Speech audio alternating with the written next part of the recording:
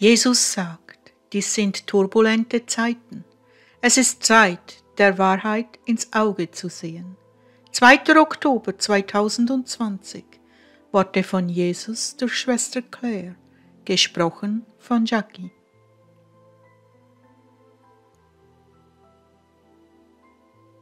Jesus begann, meine Leute, diese Zeiten sind turbulent und unsicher.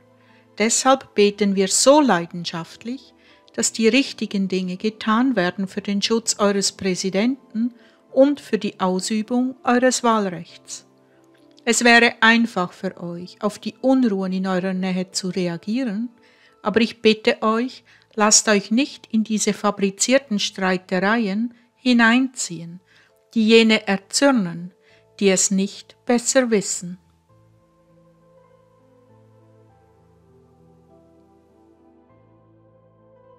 Sagt den Jüngeren, ihr werdet von einer rücksichtslosen Schattenregierung manipuliert, die euer Leben zerstören und euch sogar vom Planeten fegen will. Sagt ihnen, dass fast alle Probleme von professionellen Krisenakteuren fabriziert und inszeniert werden. Sie wurden angeheuert, um die Öffentlichkeit in die Irre zu führen, damit sie denken, dass es irgendein Bürgerrechtsproblem geben würde.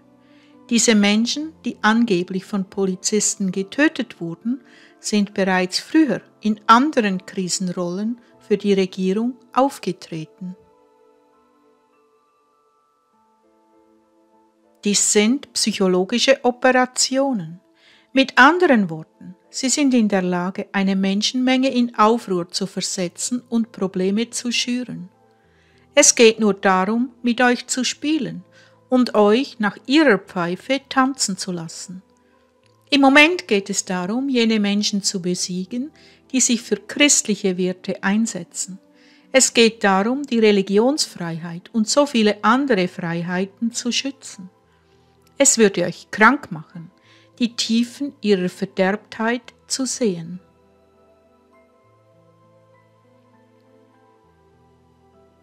Vieles von dem, was sie tun, hat seinen Ursprung in geheimen Zeremonien, die Satan gewidmet werden. Er ist ihr Führer. Er ist derjenige, der das Sagen hat. Baal ist heute genauso lebendig, wie er es vor 3000 Jahren war, als die Menschen ihre Babys als Opfer in glühenden Kesseln darbrachten. Abtreibung ist die heutige Variante des glühend heißen Kessels. Meine Leute, diese undurchsichtigen Menschen tun Kindern unaussprechliche Dinge an und verzehren in der Tat ihre Körper in Spottzeremonien. Sie verspotten das Opfer meines Leibes und meines Blutes, welches ich für euch alle dargebracht habe. Ich möchte, dass ihr wisst, dass ihr nichts zu befürchten habt, da ihr betet und zu mir kommt, um gestärkt und beschützt zu werden. Ich reiße dieses böse Imperium nieder, aufgrund eurer fortwährenden und leidenschaftlichen Gebete. Jene um euch herum sind jedoch immer noch ziemlich naiv und sie haben keine Ahnung, wie sie manipuliert werden.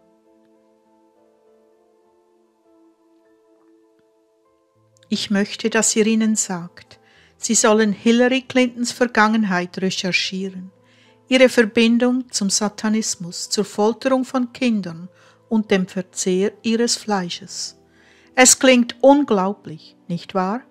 Aber es ist wahr, und je eher ihr jene informiert, die von den Lügenmedien in die Irre geführt wurden, die deren Propagandaarm sind und von diesen unheiligen Einflüssen gelenkt werden, umso schneller werden sie verstehen, was tatsächlich vor sich geht und wie sie manipuliert und benutzt werden für deren eigene Zwecke.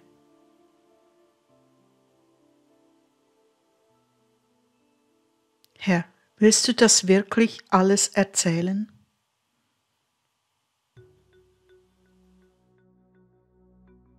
Es ist Zeit, dass meine Leute aufwachen und tiefer eindringen. Es gibt keinen einfachen Weg, das zu erklären, was vor sich geht. Claire, mein Hauptanliegen ist, dass diese Nation durch ein Phantomkonzept gespalten wurde, nicht aufgrund echter Probleme. Diese Konflikte, die von Krisenakteuren gespielt werden, welche von der Schattenregierung bezahlt werden, haben so viele glauben lassen, dass diese Probleme real sind und dass sie noch einmal aufstehen und für ihre Rechte kämpfen und sogar gewalttätig werden müssen, um es den Übeltätern zurückzuzahlen. All dies ist eine psychologische Manipulation, die mit Jugendlichen spielt, die aufgrund von Frustrationen im Leben verbittert sind. So treibt Satan auch die gewalttätigen muslimischen Gruppen an.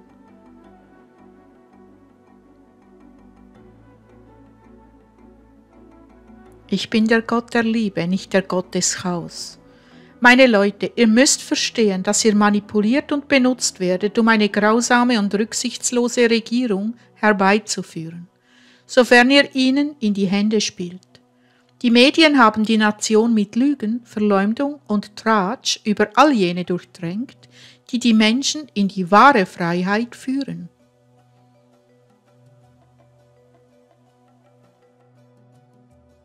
Noch einmal, wenn ihr diese Dinge glaubt und sie wiederholt, lügt ihr. Ihr verbreitet Tratsch, welcher zerstört. Kurz gesagt, ihr befindet euch tief in der Sünde und eure Übereinstimmung mit dieser Verleumdung hat die Tür für die Dämonen geöffnet, um euch in eurem persönlichen Leben zu beuteln. Verleumdung und Tratsch sind ernste Sünden, die zum Tod eurer Seele führen können diese Dinge anzuhören, mit ihnen übereinzustimmen und sie weiterzureichen, schadet eurer eigenen Seele und den Seelen, die ihr liebt, sowie jenen um euch herum.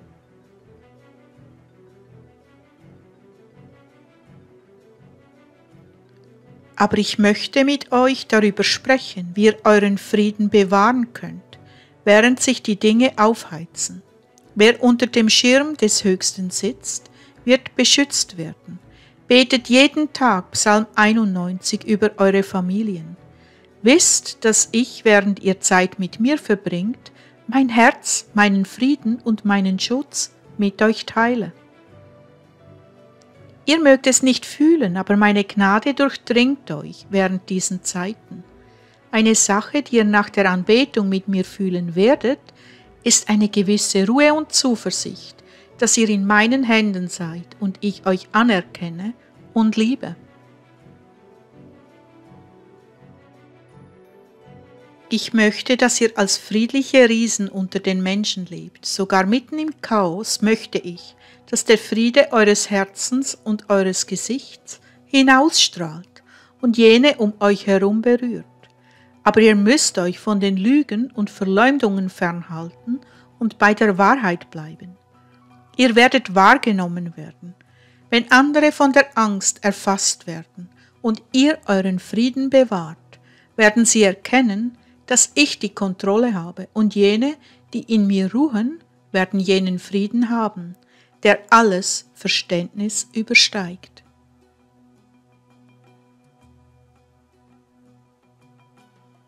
Geht jetzt, meine Lieben, und setzt euch für die Wahrheit ein und dafür, was richtig ist.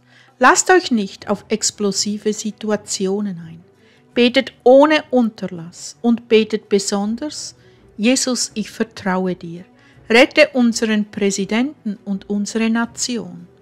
Ich bin bei euch, um euch die Gnade zu schenken, die ihr braucht, um der Versuchung widerstehen zu können, der Angst, dem Zweifel und anderen negativen Gefühlen nachzugeben. Denkt daran, dass dieser Friede einkehrt, wenn ihr bei mir und in mir bleibt.